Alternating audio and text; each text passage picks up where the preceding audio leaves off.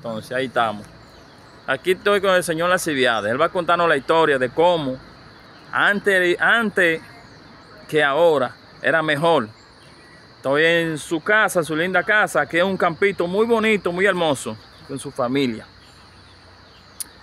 Él me dice que antes era mejor, que había mucha carne, que había mucho de todo. Y yo, y yo le digo al que no, que no había mucho de todo. Que el que vivía en el campo, si tenía, le iba bien, pero el que vivía en el campo, si no tenía, le iba mal. Tenía que vivir del otro que tenía. Eso me pasa a mí, que yo nunca he vivido de, del otro, porque Dios me ha dado la gracia de, de tener lo suyo. De lo mío, ¿ves?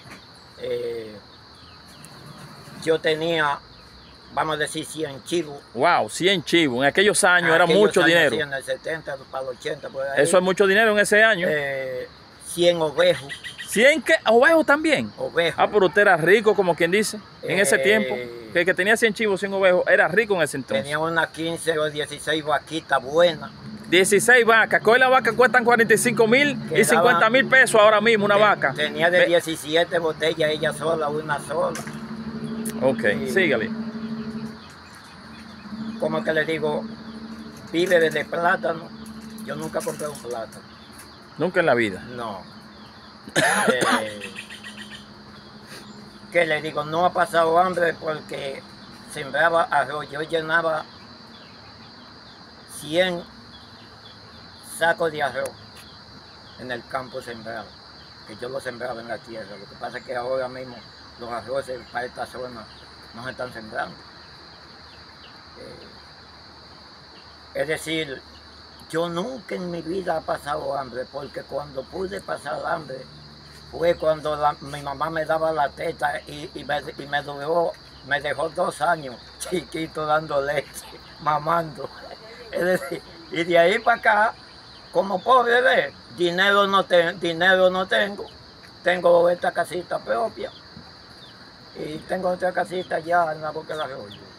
Y tiene los terrenos que tiene. Y tiene los terrenos. Que tiene como algunas, algunas 8 o 12 tareas de tierra.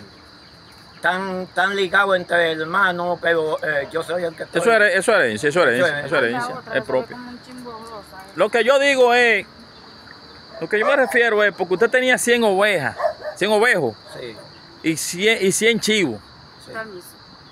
Mira, ya... sí, como yo le decía, usted tenía 100 ovejos y 100 chivos. Sí. ¿A qué precio eran los ovejos y los chivos en ese entonces? Bueno, eh, para esos tiempos un ovejito de, de 3 mil pesos, ahora cuesta como 5. ¿Cuesta cuánto? la cosa era más, ¿Cuánto cuesta, costaba, cuesta, costaba en ese entonces? Bueno, de, de, de 3 mil para arriba y 4 mil así. Yo, yo tenía un ovejo que lo vendía en 15 mil. Y, ok, pero usted tenía, esto, eso era, todo eso era en, en, animales. En animales, sí. Y hoy, o sea, de eso que usted tuvo, ese se le, se le, ¿usted lo gastó en qué tipo de, de, forma?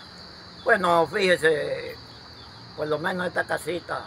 ¿La hizo con ellos? La compré yo. yo la ah, no, no, era, no la tenía, la compró con eso. No, vine para acá, los, los animales hubo un problema de que los los ladrones. Ah, empezaron a robarle. Sí, entonces tuve que eliminar todo eso. Bueno, esa es la situación del que tiene algo en este país, que, en todos lados es así.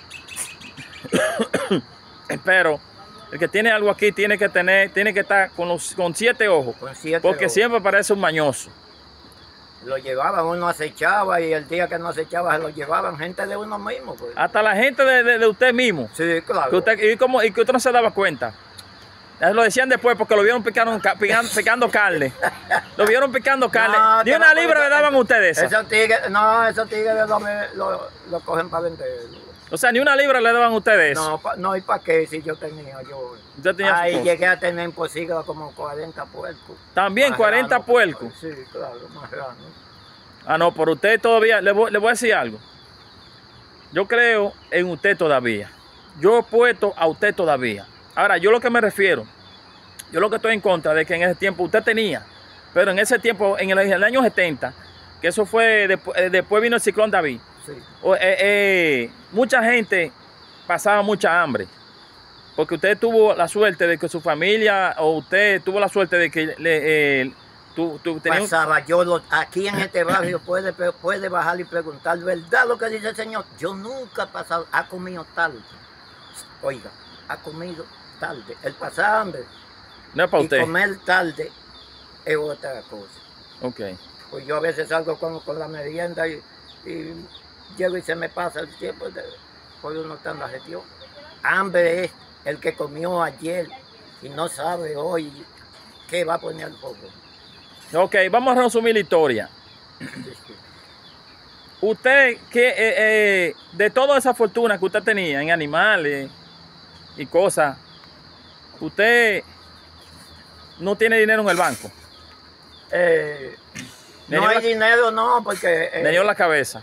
son cuestiones de la vida, y, pero me siento hasta hoy, me siento, me siento feliz porque duermo en cuero sin ropa. Ay, ay, ay, no lo diga, no lo diga, que eso es malo. Un hombre con su edad. No, no, permítame, ahora pregúnteme por qué, pregúnteme por qué. ¿Por qué usted duerme así? Dígame, ¿tiene calor?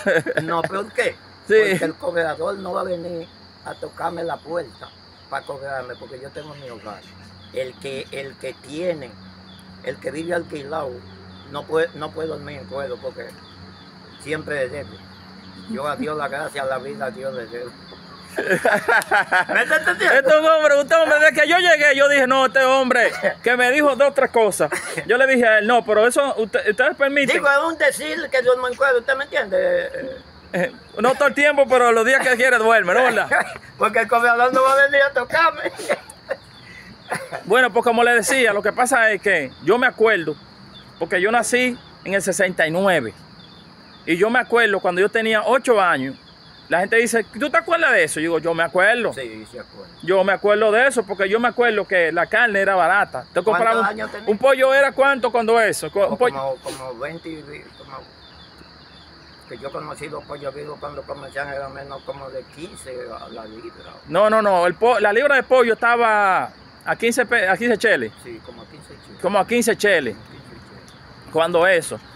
Óigase, pero es tan difícil conseguir un peso que había gente que trabajaba por, por 5 pesos al día. Bueno, de eso, de eso yo soy testigo. Yo me quedé trabajando con mi papá. Después, eso, de eso que yo le digo, eso fue aparte ya después que yo me meto en familia, vengo, ve, pero la vida era difícil. Eh, mi papá le daba cinco pesos a mi mamá para ir a, a, a Yaguate, donde le dicen Yaguate, Ok, San Cristóbal. San Cristóbal, sí. Y con eso venía en una burriquita cargada de, con cinco pesos. Y cinco pesos ahora no da para una mente. No, no, no. Una aumenta no cuesta 5 pesos. Ahora, lo que yo me refiero Digo, más es. o menos que no, que no da. Ahora, yo lo que me refiero es al hambre que se pasaba en, en- en esa. Usted, yo, usted me, por eso fue que yo le, le dije. No, hambre no pasé porque no Usted no mi- pasó hambre, mi pero- papá sembraba, mucha, sembraban mucha yuca, llame, que todavía, eh, pues yo me acuerdo que nos mataron a Trujillo. Ok, sí, no, porque usted es un hombre ya de ese tiempo. No, y Usted tenía estaba poco- jovencito cuando eso. No, muchachito, tenía, eh, tenía, Como 16 años. no, siete años. Usted tenía 7 años el Trujillo. Cuando te- ¿Cuántos años tiene usted? Espérese, ¿cuántos años usted tiene entonces? 71. Saca la cuenta. 71. Trujillo murió en el 31, tre- en el, en el, no, Trujillo murió en el 61, ¿no fue? Sí, por ahí. eh, En el 61.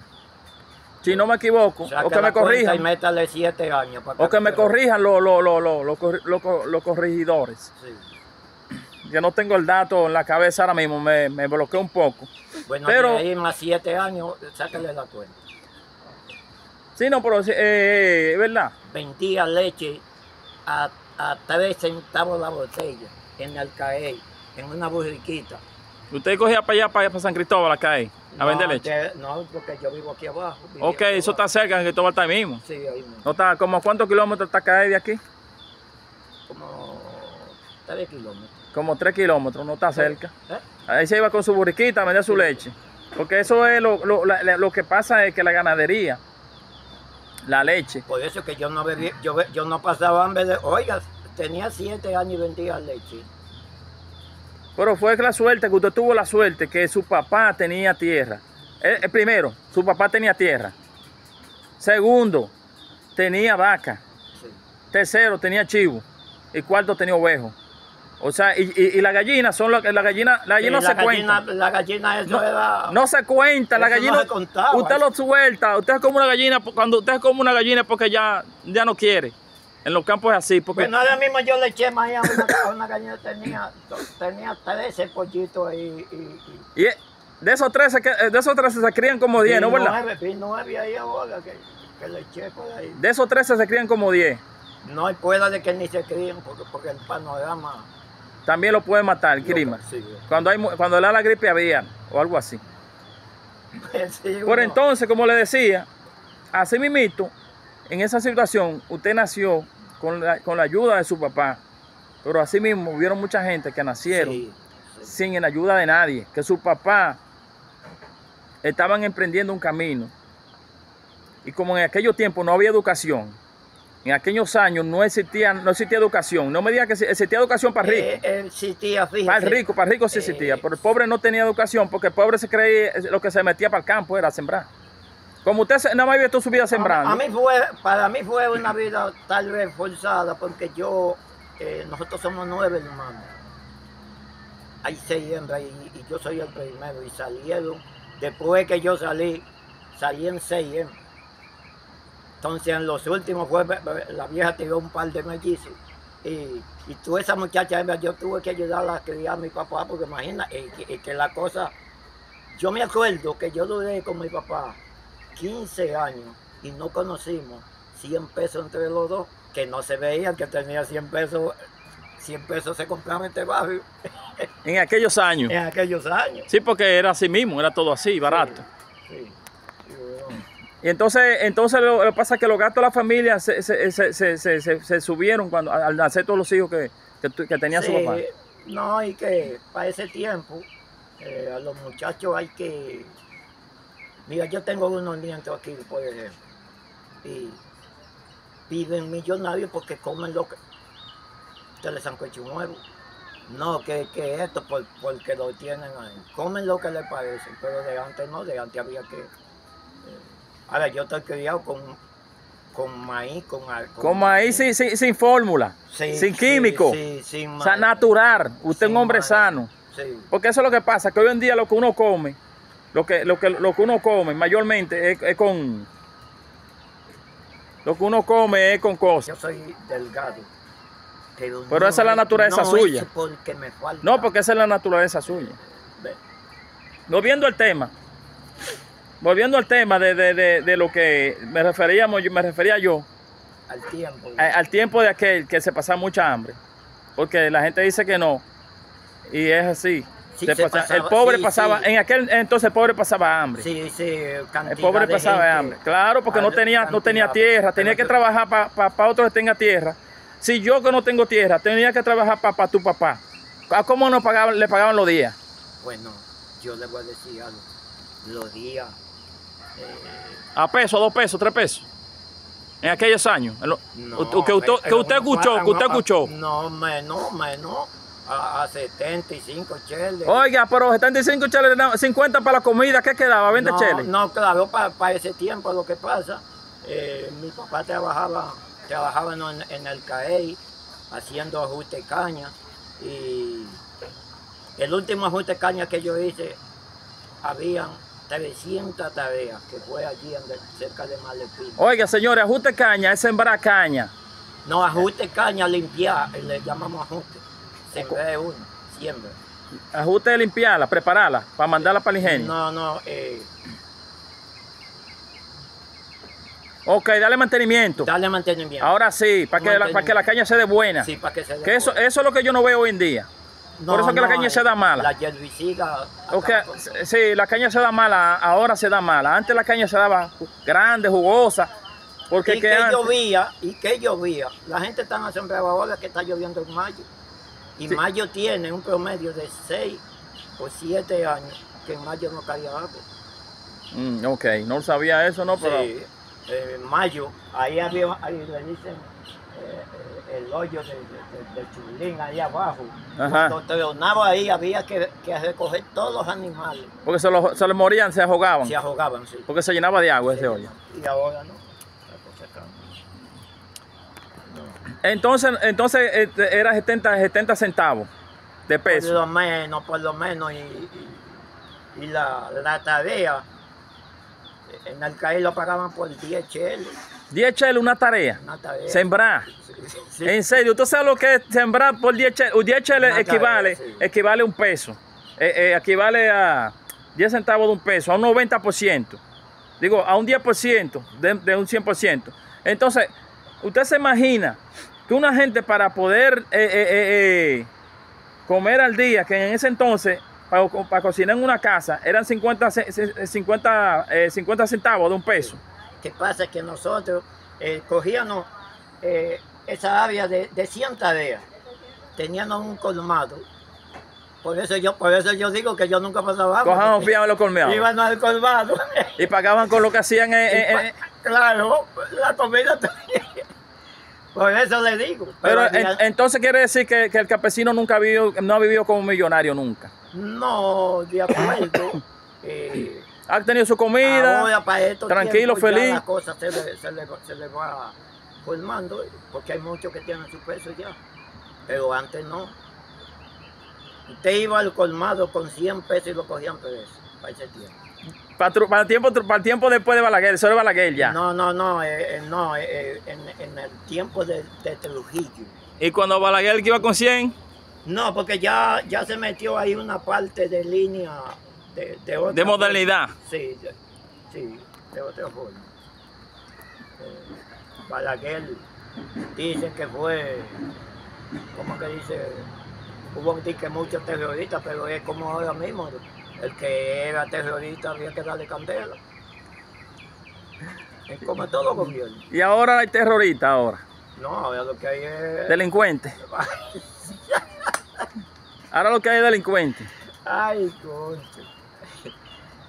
Bueno, y más, más o menos, usted ya ahí, para que ustedes vean, señores, él está contando de, lo que más, o sea, toda su, toda su vida él ha echado aquí. Sí. Y el, loca- el- el que vive en el campo, para poder progresar, tendría que seguir comprando tierra. Sí. Pero, ¿qué pasa? Que hay altas y bajas. sí. Que hay tiempo malo, que la, que la siembra no deja nada. Ahora mismo la siembra no Entonces ustedes, ustedes lo que hacen es que se comen lo que aparece. Así como lo que aparece. Entonces ahí viene que el campesino ese año no consiguió, no consiguió el fruto.